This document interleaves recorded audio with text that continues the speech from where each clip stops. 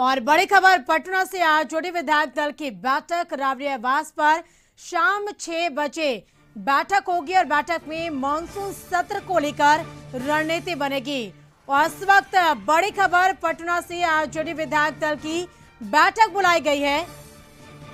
और अधिक जानकारी के लिए पटना से संवाददाता अवनीश भी हमारे साथ जुड़ेंगे। इस खबर को लेकर ज़्यादा जानकारी साथ, लेकिन इस वक्त बड़ी खबर आपको बता दें पटना से आज जुड़ी विधायक दल की बैठक बुलाई गई है और यह बैठक शाम छह बजे होगी पूर्व सीएम राबड़ी आवास पर और बैठक में मानसून सत्र को लेकर रणनीति बनेगी।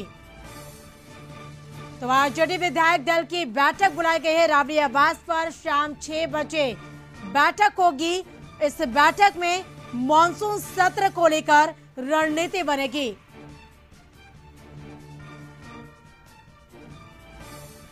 और ज़्यादा जानकारी के साथ पटना से संवाददाता अवनीश हमारे साथ जुड़ चुके अवनीश आरजेडी विधायक दल की अहम बैठक बुलाई गई है।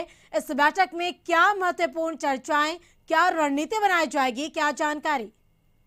नहीं बिल्कुल शाम छह बजे आज आरजेडी के विधायक दल की बैठक है और इस बैठक में मानसून सत्र की तैयारी को लेकर बैठक होगी कि आखिर कैसे सरकार को हर मोर्चे पर सदन के अंदर और सदन के बाहर घेरा जाए।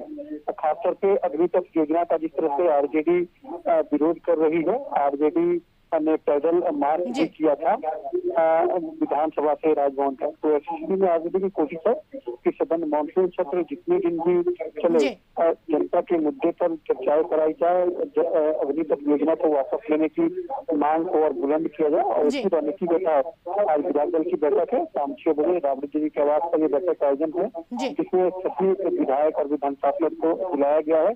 इसमें खुद तेजस्वी यादव राबड़ी देवी पार्टी के प्रदेश अध्यक्ष हेमंत सिंह तमाम लोग की मौजूदगी रहेगी और इस बैठक में आगामी जो सत्र को विशेष दिन बचे हैं उसको लेकर एक कैसे रणनीति होगी।